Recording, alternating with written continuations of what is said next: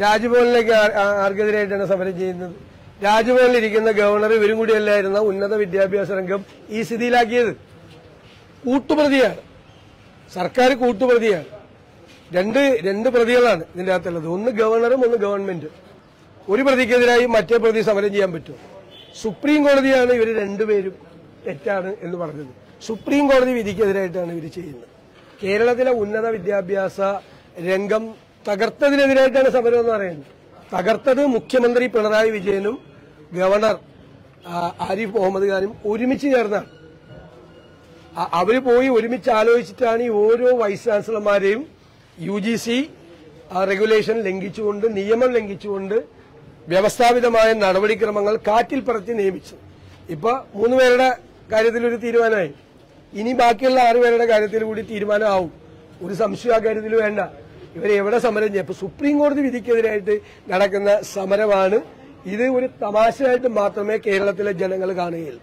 ഉന്നത വിദ്യാഭ്യാസ രംഗത്തെ തകർത്ത് തരിപ്പണമാക്കിയതിന്റെ ഉത്തരവാദിത്വത്തിൽ നിന്ന് കൈ കഴുകാൻ വേണ്ടി നടത്തുന്ന നാടകമാണ് ഇന്നത്തെ സമരം.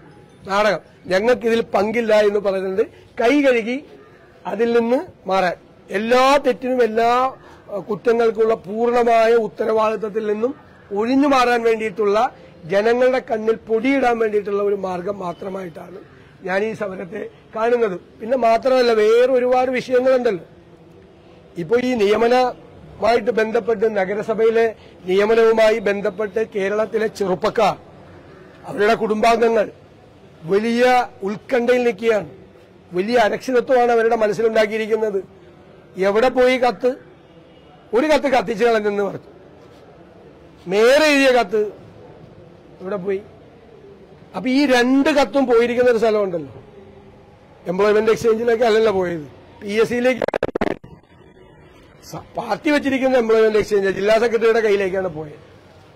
അന്വേഷണം മുക്കാനുള്ള പരിപാടിയാണ് ഇപ്പൊ നടന്നുകൊണ്ടിരിക്കുന്നത്.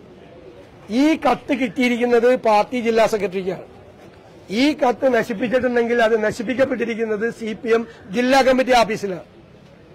നേതൃത്വത്തിന്റെ സി പി എം നേതൃത്വത്തിന്റെയും മുഖ്യമന്ത്രിയുടെയും അറിവോടുകൂടിയാണ് ഈ സുപ്രധാനമായ കേസിൽ ക്രൈംബ്രാഞ്ച് അന്വേഷണം നടക്കുന്ന കേസിലെ തെളിവ് നശിപ്പിച്ചിരിക്കുന്നത് കാരണം ക്രൈംബ്രാഞ്ചിനെ ഇത് ഏൽപ്പിക്കാൻ തീരുമാനിക്കുന്നത് മുഖ്യമന്ത്രിയും ഡി ജി പിയും മേയറും ഒക്കെ ചേർന്നിരുന്നുകൊണ്ടുള്ള തീരുമാനമാണ്.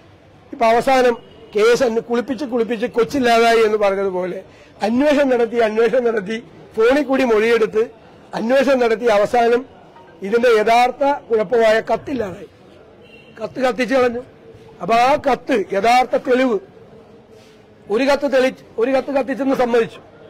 അപ്പൊ തെളിവ് നശിപ്പിച്ച ആൾക്കെതിരെ കേസെടുക്കില്ലേ? മറ്റേ കത്ത് ആരാണ് കത്തിച്ചു കളഞ്ഞിരിക്കുന്നത്? ഈ രണ്ട് കത്തും നശിപ്പിക്കപ്പെട്ടിരിക്കുന്നത് സി പി എം ജില്ലാ കമ്മിറ്റി ഓഫീസിലാണ്. ജില്ലാ സെക്രട്ടറിയെ തന്നെ പ്രതിയാക്കി ഇതിൽ കേസെടുക്കണം. ജില്ലാ സെക്രട്ടറി ഉത്തരവാദിയാണ്. ജില്ലാ സെക്രട്ടറിയെ രക്ഷിക്കാൻ വേണ്ടിയിട്ടാണ് എഴുതിയ കത്ത് കൊടുത്തില്ല എന്ന് പറയും ഞാൻ കത്ത് കണ്ടിട്ടില്ല. ഞാൻ കത്ത് കൊടുത്തിട്ടില്ല.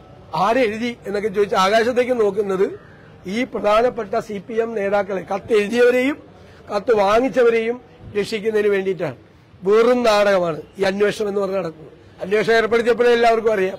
ഇത് വെള്ളപൂശുന്നതിന് വേണ്ടിയിട്ടും ആളുകളെ രക്ഷിക്കുന്നതിന് വേണ്ടി നടത്തിയ ശ്രമമാണ്. അപ്പൊ ഇത്തരം കാര്യങ്ങളിൽ നിന്ന് ശ്രദ്ധ തിരിച്ചുവിറ്റ രൂക്ഷമായ വിലക്കയറ്റം. രൂക്ഷമായ വിലക്കയറ്റമാണ്. ഒരു ചെറുവിരൽ ഗവൺമെന്റ് ഇതുവരെ അനക്കിയിട്ടില്ല ചെറുവിരൽ. അരിയുടെ വില കൂടിക്കൊണ്ടിരിക്കുന്നു നിത്യോപയോഗ സാധനങ്ങളുടെ വില കൂടിക്കൊണ്ടിരിക്കുന്നു പച്ചക്കറിയുടെ വില കൂടിക്കൊണ്ടിരിക്കുന്നു. തൊട്ടതിനൊക്കെ തീ പിടിച്ച വിലയായിക്കൊണ്ടിരുന്നിട്ട് ഒരു ഗവൺമെന്റ് ഉണ്ടോ ഇവിടെ? അപ്പൊ ജനങ്ങൾ വലിയ പ്രതിഷേധത്തിലാണ്. ബൈ ഇലക്ഷൻ നടന്നപ്പോ കണ്ടല്ലോ. വലിയ പ്രതിഷേധത്തിലാണ്. അപ്പൊ അതിൽ നിന്നും ശ്രദ്ധ തിരിക്കാൻ ഫോക്കസ് മാറ്റാൻ വേണ്ടി നടത്തുന്നതാണ് ഇന്ന് നടത്തിയിരിക്കുന്ന കാര്യങ്ങൾ മുഴുവൻ.